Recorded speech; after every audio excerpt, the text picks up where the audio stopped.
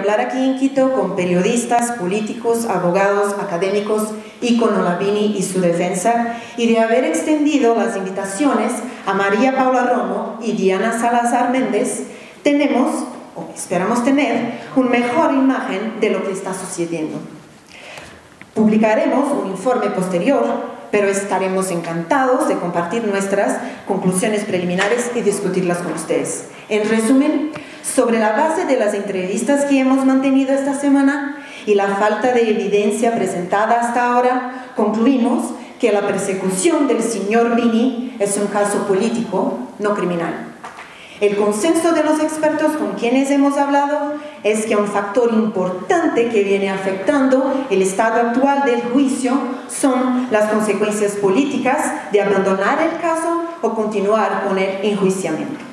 Los detalles de quién es responsable o quién se benefició difieren según con quién hayamos hablado.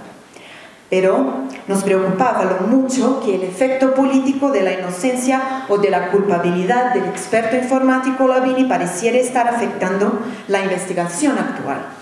La inocencia o culpabilidad de Olavini es un hecho que debe ser determinado por un juicio justo que siga el debido proceso, separado de sus ramificaciones políticas. Los abogados del experto Bini, del experto informático Bini, nos dijeron que han contabilizado 65 violaciones del debido proceso hasta el momento en el juicio. Y la decisión de habeas corpus confirmó la fragilidad de la detención judicial. Los periodistas nos dijeron que nadie puede darles descripciones concretas de lo que ha hecho. Y sabemos que la conducta y los modales de Olavini y a sus conocidos como experto informático, si bien pueden parecer extraños a los demás, no constituyen delitos. Instamos a los actores políticos de todas las partes a que se aparten de este caso y permitan que se haga justicia. De lo contrario, corren el riesgo de seguir perjudicando la reputación del sistema judicial ecuatoriano en el, en, el, extranjero, así como fallar en el cumplimiento de los estándares internacionales de derechos humanos definidos en el sistema interamericano de derechos humanos. Gracias.